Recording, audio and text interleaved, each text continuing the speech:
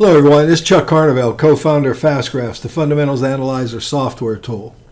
With this video, I'm going to cover 3M Company, and I want to explain a little bit about what I'm trying to do by evaluating the stock. The first objective I have when I open a, a stock on FastGraphs is I try to determine whether or not the stock is research worthy or not.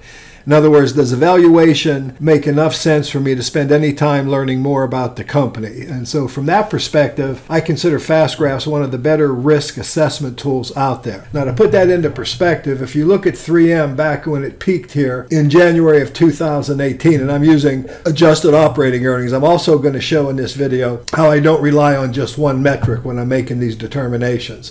So we have this very high valuation, a blended PE of, of 27, which is significantly higher than its normal PE of 20, even for this long-term time frame, and significantly above what a theoretical fair value calculation ought to be using a discounted cash flow formula. So the orange line's a PE of 15, the blue line's a PE of 20, and we could see the PE was very high. Now, what that did was that led to, thus far, a drawdown of just over 30%. And you know, you did get a little bit of dividend income, so it, that re- mitigates the risk by dropping the loss down to 27.7%. And then if you annualize that, it's running about 22%. But the point is, one of the ideas of looking at a stock and trying to find one that it's fairly valued is you're looking to see if the investment's sound. The idea of an investment being sound simply means that your chance of losing money is been mitigated. Doesn't mean that you can't have a short-term drop in the stock price, but if a stock falls from fair value, it's almost surely going to go back to fair value. Where if a stock falls from being overvalued, it could take a very, very long time. So that's one key.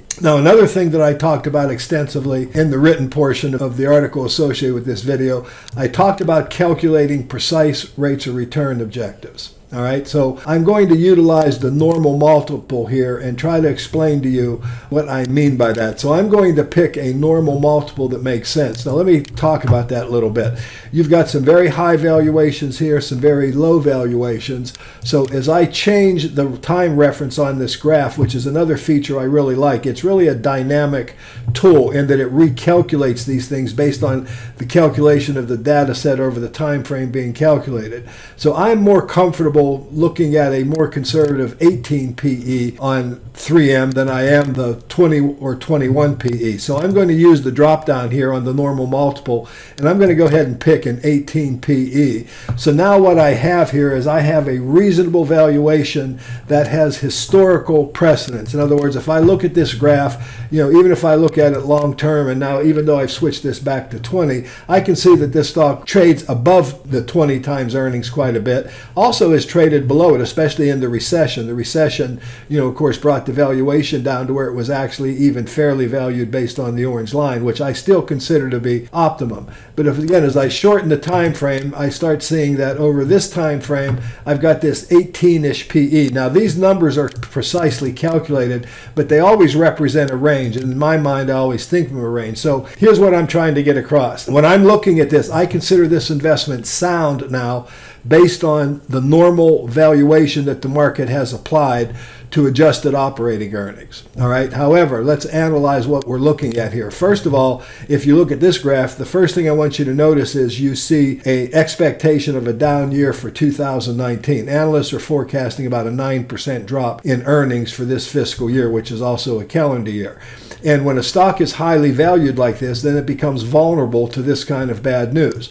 Now, when I look at this stock longer term, a couple other perspectives I think are important that I would like to go ahead and point out. Number one is, you know, 3M did have a modest down year, very, very similar to what we're expecting right now during the recession of 01. It had another down year, almost equal to the one we're expecting now in the recession of 2009. It had a down or a flat year, if you will, in 2015. Earnings only only grew by 1%. And then now we're expecting a down year for 2019. But the point is, this is an impeccably high quality company. Increased its dividend. You know, it's a dividend aristocrat. It's also a dividend king. I think it's been over 60 consecutive years that this company has increased its dividend, not just paid it. They've paid an uninterrupted dividend for over 100 years. So I've got a really nice dividend record here. I'm also going to an analyze growth rates. I've got 8% growth rate long term. If I drop this down to like, you know, a 9 nine or 10 year historical graph with some forecasting, I'm now down to 6% growth. And I want to make that point. So I can go through all these numbers. I'm not going to do it for sake of this video, but a 6 or 7% growth rate is more the norm in recent times than the 8% number historically. So the company's getting big. It's got a $100 billion market cap, 115 billion total enterprise value. So it's becoming a big company. It's becoming hard, you know, develop products that move the needle. But the company does spend a lot of money on R&D. But regardless, when I look at their performance, now this was slightly overvalued here and is now slightly undervalued. I've got 8% growth. When I look at performance, I'm getting a 6.8% growth, annualized growth over this time frame, which goes back to December of 99. That's better than the S&P, which averaged about 4.2% over this time frame. But the dividend advantage, to me, is one of the great advantages about owning a blue chip, high quality dividend growth stock like 3M. You know, I've got two and a half to three times more dividend income cumulatively on this stock over historical norms. So you know, this is the kind of company I like. It's double A minus rated, has under 60% debt, which is not necessarily a plus or a minus in my view. So now as I go into forecasting, I'm looking at forecasts going forward. Now, the average forecast for these specific years, and by the way, I want you to notice the number of analysts. It's 15 analysts dropping down to 11, dropping down to 3. So I usually stick to the first year or two, and maybe sometimes I'd go out to the third year in this example on 3M. If you notice, the company does have a good analyst scorecard. Analysts tend to get the forecasts right. That means the company gives good guidance, but keep in mind they also lowered their guidance, which is part of what caused this drop. But notice the stock drops from being way overvalued relative to historical norms to now being fairly valued. But just fairly valued isn't enough. You also have to recognize that we're also looking at a decrease in earnings here. So if I go out to year end, in theory, if it trades at an 18 multiple, which is approximately what it's trading at now, you're going to make less than 1% annualized on the stock. If I go out a little further and go out to uh, 1231 2020, now I'd be looking at making about 8.5% annualized annualized total return, which would be acceptable. Considering the quality of 3M, I would call that a good rate of return, and I would also consider it reasonable. Now, I also like to check the long-term growth rate, and if you recall earlier, I showed you that recent earnings growth has averaged about 6%. So now we're looking at a, a group of analysts, there are only two, by the way, but I'm looking at a long-term forecast of about 6.3%. Now, let me show you something else I do when I'm looking at adjusted earnings or reported earnings. I also then check the external links. I'm going to go down here to Yahoo, and Yahoo gives specific earnings estimates as well that I can check against the data I'm getting from FactSet. But I'm going to look at the next five years according to analysts. I believe that Yahoo gets them from Reuters. I have to double check that. But anyway, these guys are forecasting 4.21%. While I'm here, you can also see that we're looking at $9.52 for 2019 and $10.46 for the next year. So when I go to Fast Graphs and look at the data, I'm looking at, you know, slightly different number. I'm looking at a historical earnings of 950 and 1050. Now, by the way, I'm using the trend line forecast here. Let me go to the estimates here. I'm looking at 950 and 1050.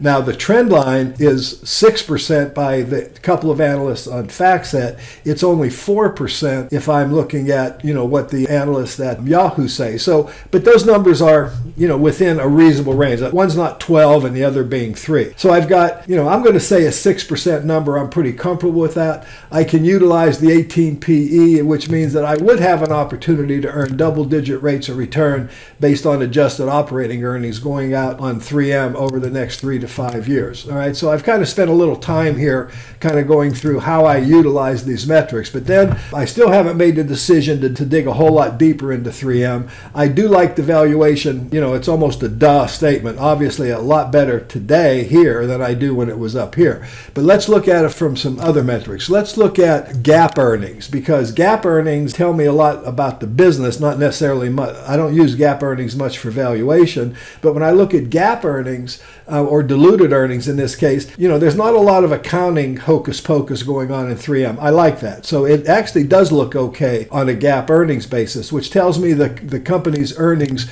report is reasonably clean. So I like GAAP earnings, but again, that's not a valuation metric I often use because it can it can have on certain companies a lot of accounting convention, non-recurring uh, charges, non-cash charges, etc. Next, I'm going to go looking at cash flow. Now, I especially like to look at cash flows when I'm looking at dividend growth stocks. Note that 3M does offer a 3.3% current dividend yield here. So valuing a dividend paying stock, a dividend growth stock on cash flow can also be very, very useful. Now, I see a much better correlation here to operating cash flow. This company trades at about 15 times operating cash flow, more or less historically. It's currently trading at 15.7. So I would call that on the upper range of fair value based on operating cash flow. And again, when I go to forecasting, and I'm going to go to the near term estimates again, if I'm using that 15, which, you know, the normal in this case and just the regular formula graph are going to be very similar, I'm looking at 5 to 9% rates of return out for the next couple years.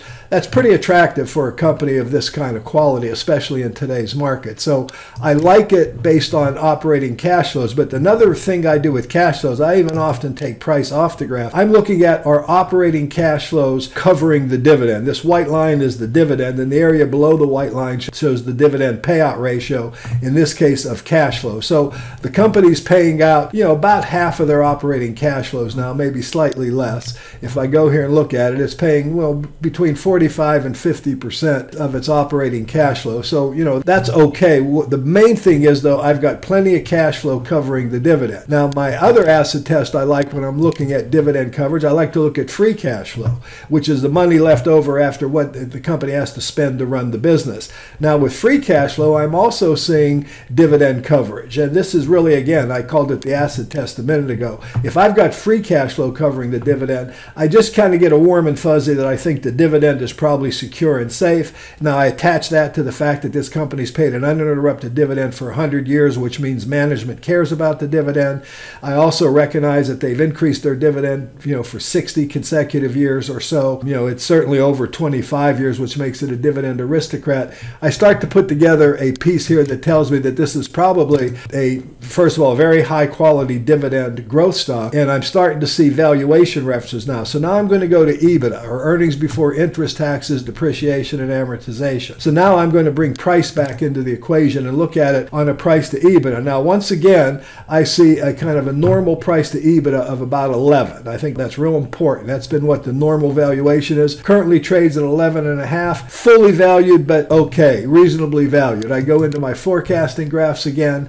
I've got my 11 PE calculation here. I'm getting rates of return based on EBITDA of, you know, four and a half, five percent, six percent, looking at what EBITDA growth is. So, you know, I'm still staying within this realm of, let's call it six to eight percent potential rates of return, looking at the company based on EBITDA. Now, I'm not going to stop there either. I'm also going to look at enterprise value to EBITDA, which is really the same metric. The orange line isn't going to be as relevant here as I go to this metric as the blue line. But once again, I just get a confirmation that I have a normal enterprise value to EBITDA of about 11. So that's historically normal for this company. And again, once again, I feel very comfortable there. Now, I'm going to start looking at some other aspects also. I'm going to look at sales. One thing I want you to notice, even though earnings have gone down, I'm going to take the um, price to sales off. I just want to just look at pure sales here. Sales growth has been good. The company's, you know, ended last year at about 32.77 billion dollars. Last year they, you know, they generated 31.66 billion in sales.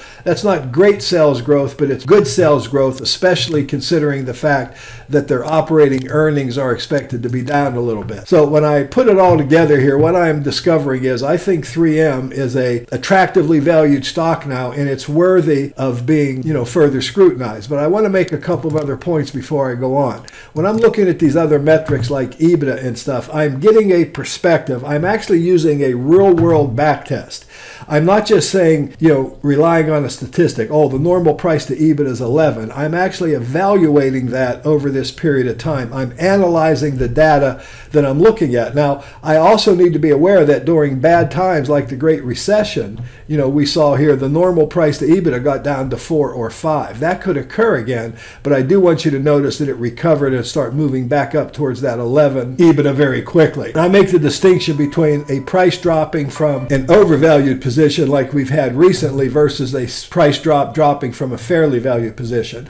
I believe this price drop could take an extraordinarily long time for the company to recover. But nevertheless, what I've determined here in, at the end of this video here is that I think this company's worthy of more research. So now I'll go into the external links. I'll always go into the company's website. I'll go here and I'll look around for, you know, investor services or investor relations in this case. I'll go into the investor relations. I'll look for slide presentations. I'll go through the slide presentations. I'll also like to look a little bit about the products. You know, the, in this case, 3M has products for business as well as consumers. So I'll spend quite a bit of time in the company's website looking for information. I'm also a subscriber to Morningstar, so I'll go into Morningstar and I'll look at the Morningstar analysts are expecting on the company. We have a you know full analysis here. I don't necessarily again I, this is all information. I'm starting to dig deeper under the hood and spend some time evaluating the company. I'll go into our fund graphs, which is financial underlying numbers. Once I've made the determination that the stock is research worthy, I like to start out by looking at things like gross and net profit margins, returns on equity, returns on capital. I like to see not just what the numbers are, but whether they're trending in the right directions or not. And again, I'm spending my time now trying to see if, you know, if I found a stock that appears to be research worthy. Now the question is, you know, what can I learn about the company to give me the confidence that I think it's going to be a great investment? I think 3M today is very sound and attractive, and that simply means I don't see a lot of downside going forward. Whether it's a great investment or not, frankly, I'd like to see it a little cheaper, but not much. But anyway, this is a dividend growth stock of impeccable quality that, you know, you might either want to start watching watching now, or you could even start building a position at these levels. I feel good enough about the company to say that. This has been Chuck Carnevale saying thanks for watching. My next video will also be on an individual stock similar to this one. Thanks again.